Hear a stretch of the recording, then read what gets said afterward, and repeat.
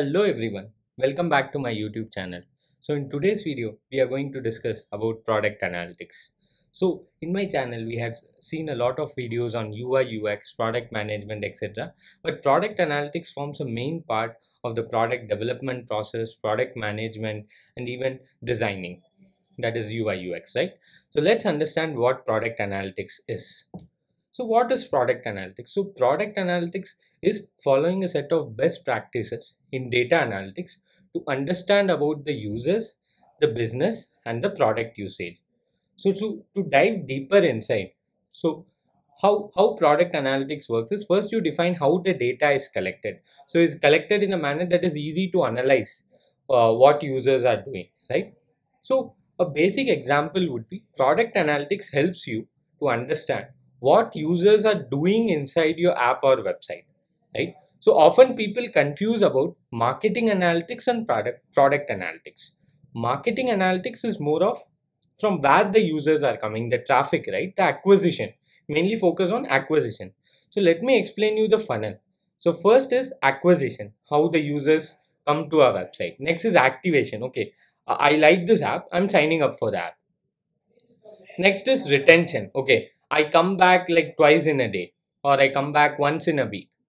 How, how frequently I visit, the stickiness, engagement, how much time I spend in that.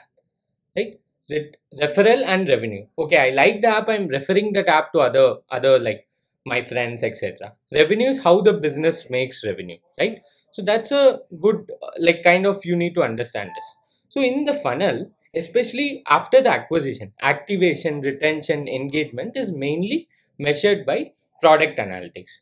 So product analytics will help you to understand what users are doing inside your product, right? How much time are they spending? What are the activities are they doing? So for example, let's say, let's understand YouTube, right? So YouTube as a product, so the product analyst would measure, okay, how much time a user is spending by, by watching videos or how much videos he watches a day and how frequently he comes to the app how much time he spends in a single session right and how many playlists he's saving right? How many videos he save for later and then he's watching. So these are the kind of metrics that that a product analyst would measure at youtube. Okay then how, how where is what's the difference between a product analyst and data analyst? And how does a product analyst help the product managers and and the business strategy team right? So what kind of scenarios where product analytics is important, let me tell you. So let's say I have a set of features which I want to build to improve engagement, right? So in this case, a product analyst would help, okay, which feature should I prioritize uh, and build first?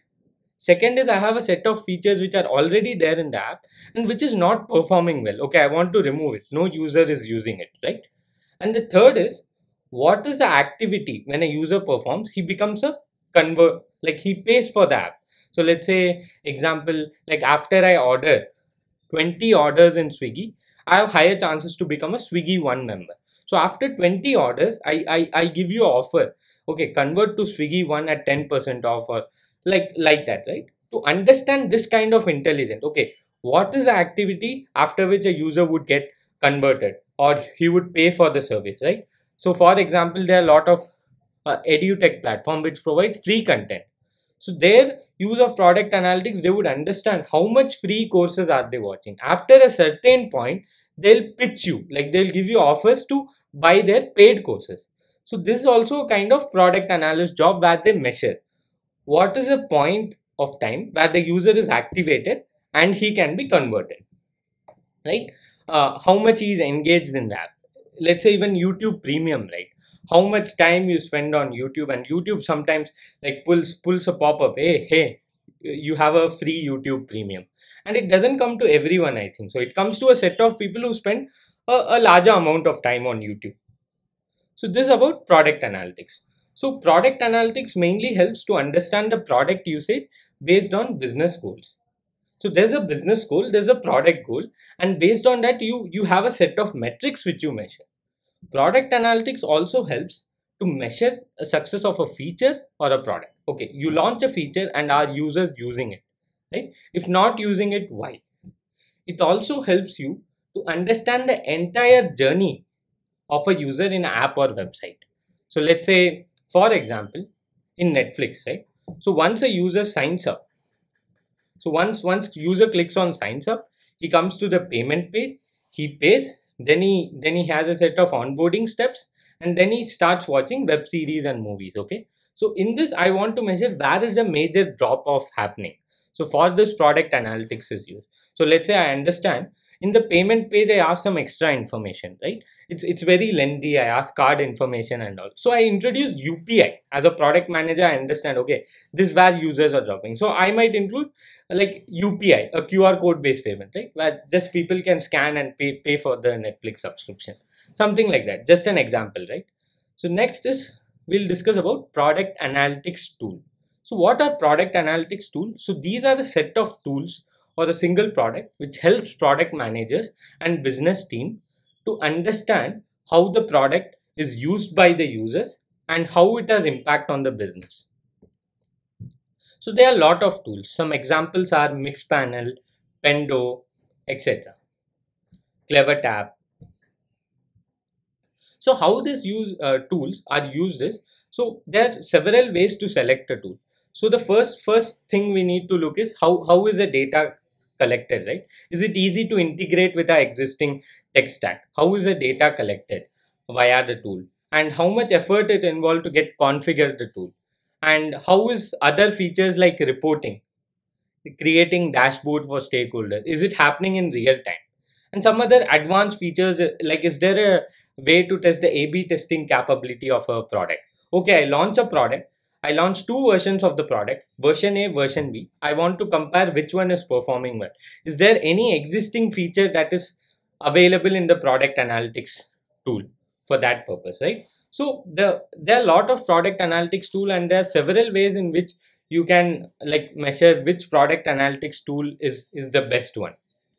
And uh, these tools enable you to improve your user experience right so once you understand what what are the users goal and what how he is achieving through the app you can also make the journey of other users in the same way right so that they achieve the goal it's more of how you help you how you understand users better with the help of data and help them achieve their goals. When they achieve their goals they pay for the pay for the uh, goal they achieve right? They pay for the product. As a result business gets benefited. So in terms of uh, reporting right there are kind of two two types of like ways in which data is collected. So the first one is like explicit tracking and implicit tracking so what are this two two ways of tracking is like in explicit the only only those events are captured which have been programmatically already set or configured right there's no history of data available implicit it where all the events are captured by default. When you configure it, the, the history of data is also available. So let me tell you with the example, right? L let's say there's a default event known as views that is getting captured and I did not uh, like configure an event known as click button click, right? In explicit, the button click is not captured because it's not configured, right? But in implicit, the button click is captured and it is and the data is sent to the analytics tool. And when you configure the event, you'll see okay, this button click, right? So by default, most of the data are captured and historical data is available. Once you configure the button click, you'll be able to see okay, in the last two months, what was how many number of clicks happen in this button, something like that. So there, so you can also become a product analyst. So you need to have like a product sense as well as a data sense and the average salary of a product analyst in India is 11 lakhs per annum. And it's a very interesting role because you you you you kind of you're in a difference like you are in the center of the business, tech, product, and you help all of them. You enable them to take decisions, right? So yeah, it's it's a very uh, interesting role to be frank.